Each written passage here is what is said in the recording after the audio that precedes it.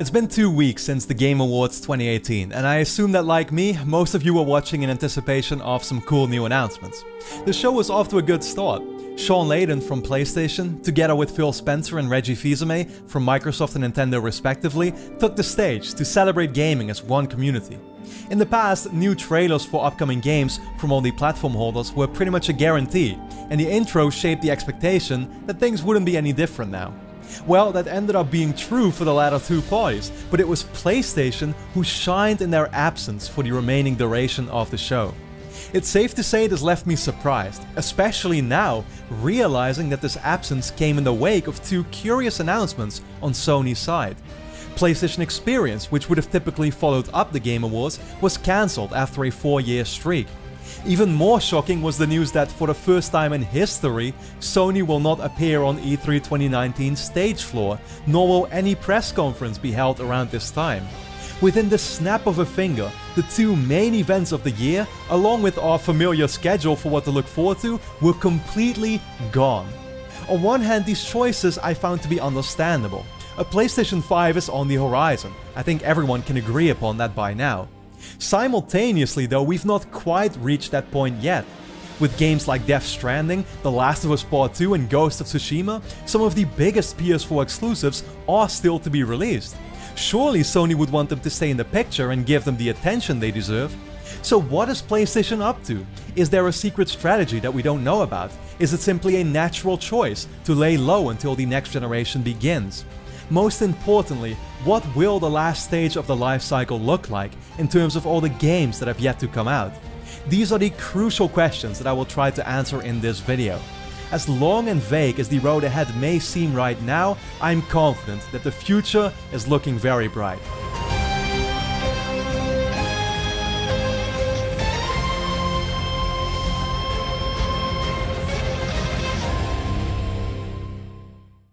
At this point, I think it's clear that the PlayStation 5 is at a maximum 2 years away from us. All the signs point towards it.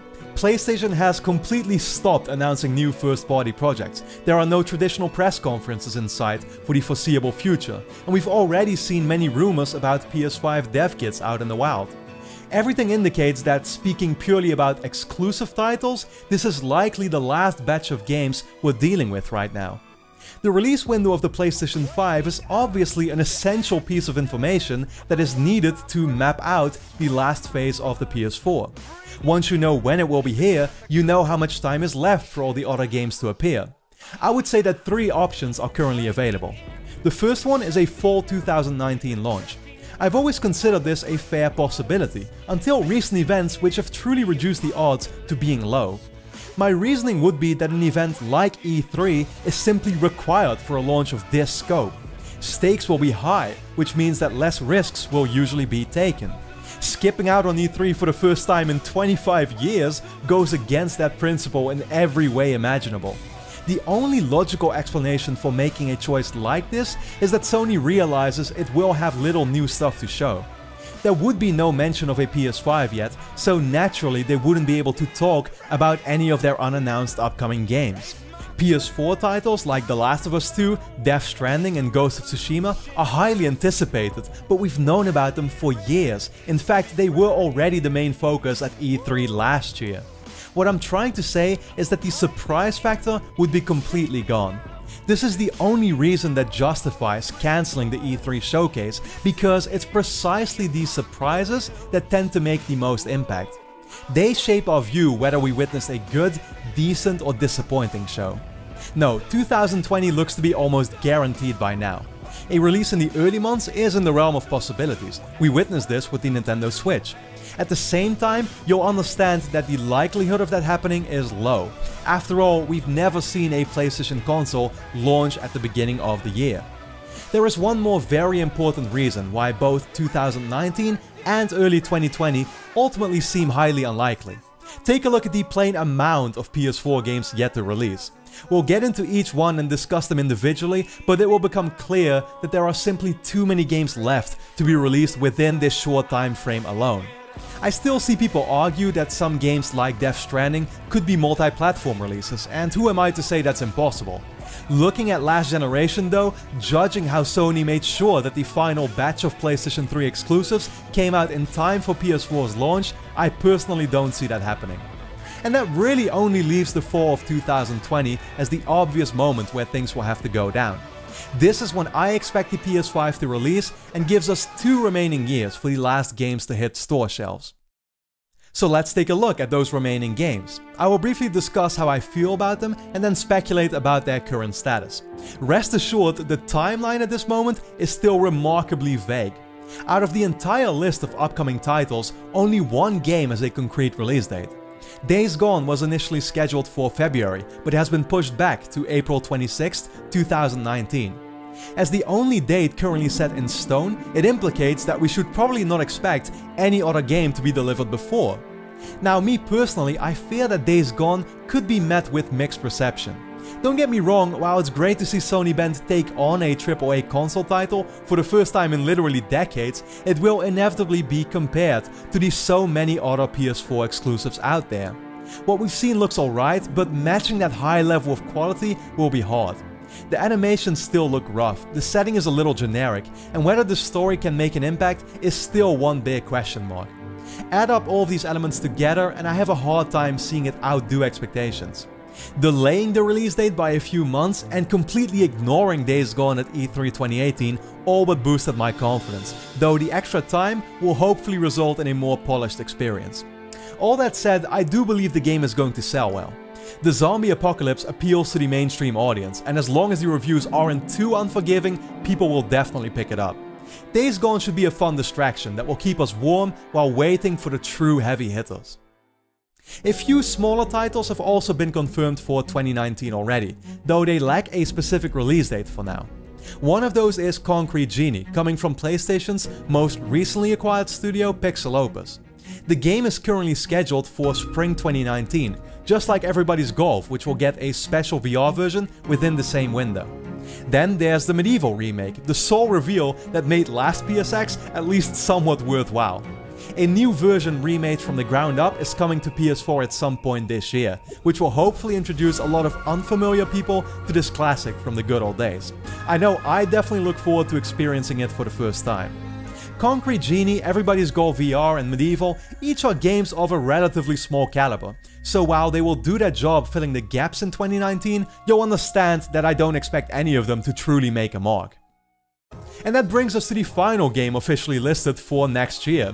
I almost can't believe I'm saying it, but Dreams still has not come out yet. It's crazy to think back all the way to the PS4 reveal event, where we saw a conceptual version up and running already. Dreams was officially announced in 2015, went radio silent for two years, and then came back with the promise of a beta arriving in 2017. And then 2018, it never arrived. What exactly the reason is for its problematic development trajectory, I have honestly no idea. Even more important though is the question whether it will be a success. I have a lot of faith in Media Molecule and what I've seen so far definitely has a lot of potential. There is only one problem. Apart from a small die-hard community following every bit of news surrounding the game, I have not seen many people talk about Dreams at all. It's gonna be interesting to see what will happen once Dreams finally comes out. With so much time and money invested, this may very well prove to be a make or break situation for Media Molecule as a studio. For now, these are all the PS4 games confirmed for 2019. The list of games is decent, though I'm sure you'll agree that one juggernaut is still lacking. Fortunately, this is where the so-called Big 3 come into play. These are the games that are undoubtedly at the center of attention, and the only question is when will they come out? First up is Death Stranding, still my personal most anticipated game out of them all. Though it may be the project we've known about for the longest, I've always assumed it to be the furthest away from us. Hideo Kojima left Konami and built his own studio in late 2015, so we all knew that the announcement came incredibly early when he teased the game at E3 merely 6 months later. Fast forward to fall 2018 and we still haven't really left the teasing stage. Aside from a recent trailer showing some brief clips, gameplay involving any real action remains unrevealed. That being said, new details about Death Stranding just came in through an interview with Norman Reedus who plays the main character, Sam.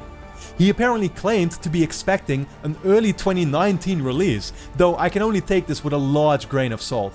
I highly doubt that as an actor, Norman Reedus is even told any information like this. I'm instantly reminded of last year how Christopher Judge, the voice actor for Kratos in God of War, quote unquote leaked the release year. He ended up being wrong. Alas, all I would say to Kojima is to take all the time he needs. I'm still incredibly intrigued by what I've seen and I have full confidence in the team to deliver something truly unique. Next up is The Last of Us Part 2. I haven't made it a secret that me myself, I still need some convincing whether the premise of this story can live up to my personal wishes. However, there is simply no denying, this is going to be Sony's most successful and important game. Naughty Dog creates technical masterpieces and remains part of the highest tier of developers. Anticipation is through the roof, the gameplay looked insane, and fans seem thirsty for the smallest bits of information. But when is The Last of Us coming out? All we have right now is an estimate by Neil Druckmann at Last PSX that the game was about 50 to 60% done. Do the math and you'll figure that a 2019 release should be a fair possibility. The game was in pre-production as Uncharted 4 development wrapped up and hit full speed after the release of The Lost Legacy. If all goes well, we may actually be playing it in the coming year. To round off the list, we have Ghost of Tsushima. Sucker Punch was last in line to announce their new IP, though don't get it twisted, that doesn't have to mean it's the last game we will actually get our hands on. You may not realize that Ghost of Tsushima has been in development for the longest overall time. Sucker Punch's previous project was Infamous First Light in 2014, and ever since this has been their one and only priority. At this point we've seen both a story trailer and a 10 minute gameplay demo, so surely its release can't be all too far away. The graphics look gorgeous and I love the cinematography displayed so far. The scope of this experience will dictate how much development time remains. Odds are, quite some work may still be left. The current status of all these three games leaves us in a tough spot to predict the order in which they will be released. There is something to be said for each one of them, so the reality is, anything is possible. By cancelling PSX as well as E3, Sony has created a massive void. This empty period will last for another full year. What we're basically told is that we won't receive any updates on PlayStation games, that is to say, in the traditional way. Last week, an ambiguous tweet from Shawn Layden teased that there may be something special around the corner. With a simple message that says, see you in the new year, it wouldn't surprise me if Sony did have a media showcase in store for us. Taking in mind the silence already started 6 months ago since E3, this show could be announced sooner rather than later. And when you think about it, it would make a lot of sense. The timing for an event like E3 has forever been a strategic choice. E3 takes place every year in June, based on the idea that games are released in the fall and could be both announced and played for the first time over there. However, in recent years, Sony went against the grain. They have abandoned the fall in favor of releasing most of their games in the early months. A new show in the beginning of the year could be the perfect solution to this problem. It would provide a way to announce release dates and give more concrete information as they'd be much closer to going gold. So here's how I personally expect things will play out. Games-wise, 2019 will be a quieter year for PlayStation 4. During the early months and summer, all the confirmed 2019 releases will find a suitable spot. This leaves one out of the big three to be saved for around September, like Spider-Man and Uncharted The Lost Legacy in recent years. I did a Twitter poll very recently to hear whichever game you all think that is, and the general consensus seems to be that it would be either Ghost of Tsushima or The Last of Us Part 2. It's pure speculation, but I guess I'll follow. Now, whether Sony does host their own press conference or not, don't be afraid that they will go radio silent on how the big games are coming along. They may take the Rockstar approach, posting information and trailers via social media, with a possible announcement a few days in advance. Honestly, that would be nothing new. For example, this year, Sony revealed the release dates for God of War, Detroit Become Human and Spider-Man all via the PlayStation blog, in most cases along with a special new trailer.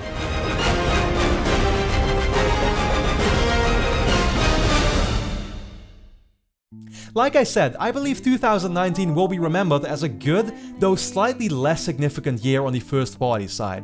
With Days Gone as the main focus early on, one of the big three games towards the end, as well as Dreams and a few smaller titles in between, there will be enough to keep us busy, of course also with plenty of third-party support.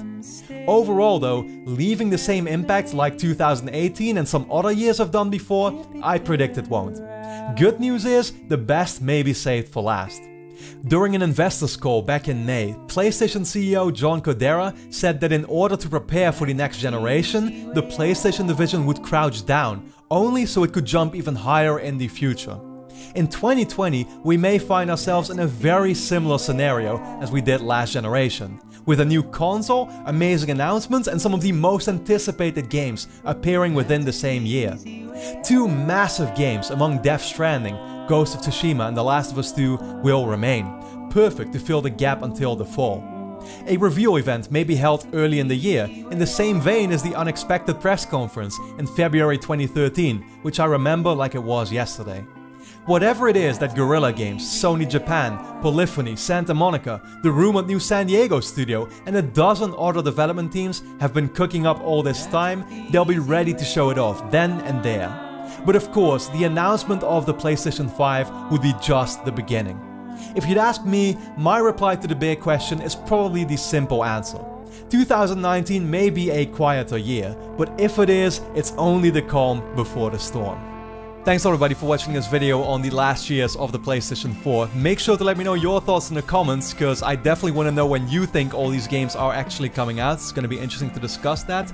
And as I upload this video, I will actually be on a holiday break in Lithuania, just so you know. So I wanted to make sure to wish you all a Merry Christmas and a Happy New Year in advance. Hopefully, you know, you have a fun time these next couple of days. Spend it together with friends and family if you can. But uh, yeah, for now, I hope it's going to be a fun time overall. With that being said, make sure of course, that if you enjoy these videos, it's only with your support that I can keep going. So head over to patreon.com slash robingaming and consider supporting me there with a, you know, small pledge, any amount that you personally like. In return, you'll get a couple of really cool rewards. For example, early access to videos like this, you'll show up in the credits like all the people next to me, and I do monthly Q&As as well. So with that being said, thanks a lot for watching, I hope to see you again next time.